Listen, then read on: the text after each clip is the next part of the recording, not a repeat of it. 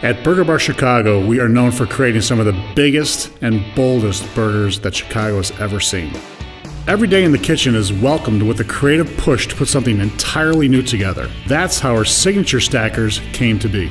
We don't draw the line at one piece of meat between our buttered and grilled buns. We start with at least two and then add toppings like guacamole, butternut squash aioli, or house-made cabbage slaw to take the burger to a whole new level.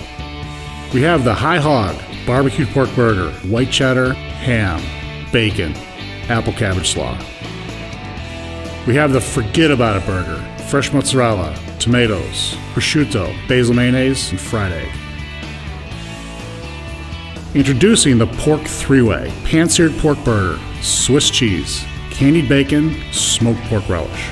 You can find the Pork Three Way at Burger Bar Chicago until March 31st. So, pull up a chair and tuck into a big plate of pig while choosing from one of Burger Bar Chicago's 100 craft brews.